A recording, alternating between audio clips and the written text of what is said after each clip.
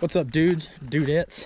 Chris from Mobtown Fishing here, and we are out on some water. Two little ponds. There's another one over here, so I guess it's three.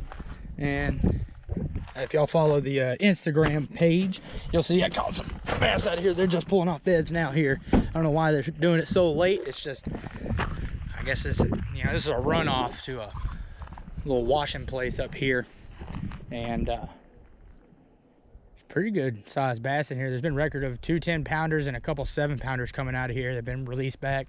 So, you know, they seem to be biting a wacky rig just Senko worm. So I got one of those on the Daiwa and man, I'll show y'all when we get over there in just a second. There's a big old eagle right there. You can see him. But there's a bluegill over here. Let me tell you, they're like the size of the, the body's the size of the inside of that hat. And man, I was like, what better time?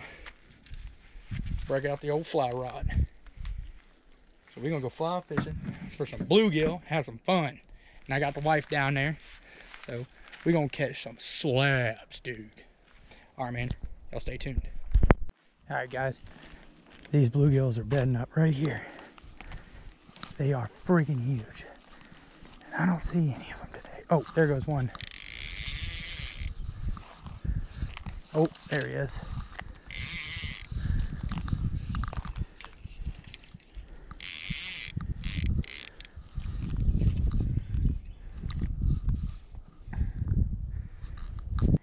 Put on a sinking bait, little nymph, and I'm dragging it through these little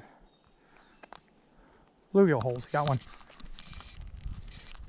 Oh, there he is. Come on. Oh, yeah. Slab, baby. Look at this thing, man. What did I tell y'all? What did I freaking tell y'all? Babe, you gotta come see this thing. It's freaking huge.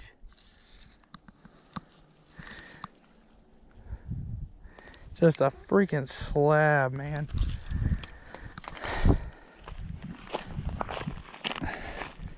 I'm gonna put my thumb in his mouth. That's how big he is. Just look at that thing. That's got to be some kind of hybrid because these things are massive.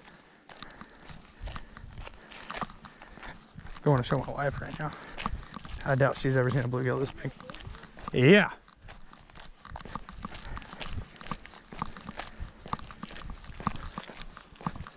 First cast. Oh my god, that is a big guy. I'm talking massive. Ain't no bass eating these things. Well, if they are, the bass is huge. Just a massive fish he'll shoot back to his bed. It ain't but about. There he goes. Oh yeah. It's right back. Big one. Lucky us, we lost 4K recording. Dope.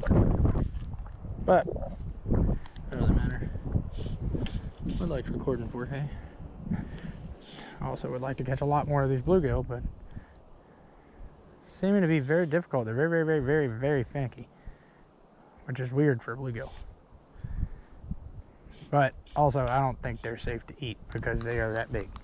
Y'all saw the first one.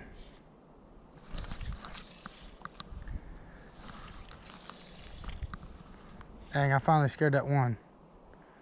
He's a big one too.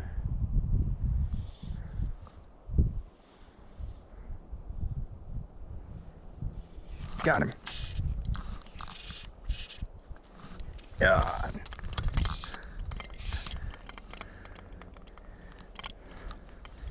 Dang, man. Y'all see this joker?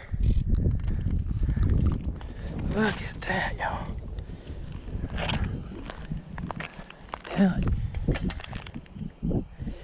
Choked it.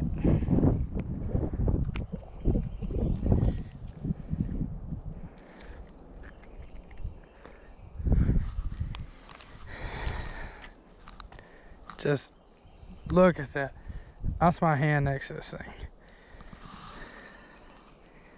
Talking, they're freaking huge. Just open it. Look at that. They're a massive bluegill.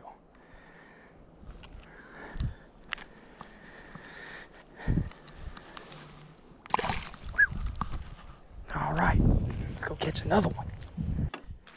Well, some friend of ours, and uh, they peeled a bunch of tail off crawfish last night and shrimp, and we're gonna go over there. They're gonna have some kind of Cajun pasta, and uh, we're gonna pack it up for right now. We'll be back in a couple hours. We're gonna come back and tear it up fast. I gotta reline her pole because the fluorocarbon that I put on there is cheap, crappy. So we gotta fix that. But uh, we'll be back.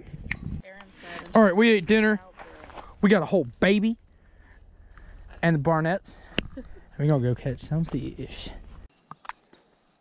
I think I'm just sentimental to that one. I've had that. Got him. Yep.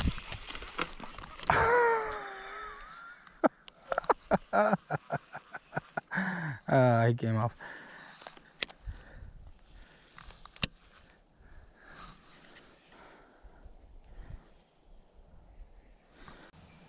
Well, my GoPro died right then, and I didn't bring the charging cable back home now. But uh, literally like 45 seconds after my GoPro died, I hooked up to a little one pounder, if that, and uh, caught him. And then uh, I quit throwing the wacky worm about 10 minutes after that, and uh, picked up white frog, started running it down the bank on that color line, and uh, they were tearing that thing up. I got so many blowups. Only caught two though. Um, I got little selfies and everything with them, with uh, the rest of the friends and family, so I'll throw those at the end of the video so you can enjoy them. See them little bass. Uh, y'all stick around. Next day or so, it's Friday right now, uh, I'm gonna make another video. I'm gonna get out on the boat and really show y'all some of the the specific little tips and tricks and stuff that I do to specifically my worms and how I work my frog because that's pretty much all I do is a Senko, ribbon tail, trick worm. Those are like my big three. And then a frog from a pad crasher, this little white and chartreuse belly or a solid white SPRO frog. I'm going to show you exactly what I do out in the water. I'll have chest mount, full body mount, everything with the cameras. And I really dial it in so y'all can y'all can kind of see what I do and how I catch the fish that I catch. So y'all stick around and uh, this was a cool little video that I made just to get out and throw the fly rod around. It's always fun to fly fish, even if you aren't, you know, going for trout or anything like that. I like to pull a fly rod out and give me some big old bluegill. Oh yeah, the reason I said I wouldn't eat those things is that little pond that we were fishing was um, was a runoff to like a wash wash place where you wash big old trucks. So that's why I wouldn't eat those things. There's probably a lot of chemicals and shit in the water. That's why it makes those fish so freakishly large. And uh, I just want to throw that in there. I know it would come up in the comments somewhere. So, anyways, y'all let me know. You know, anything else y'all want to see in the videos, make sure to like and subscribe and uh, keep fishing.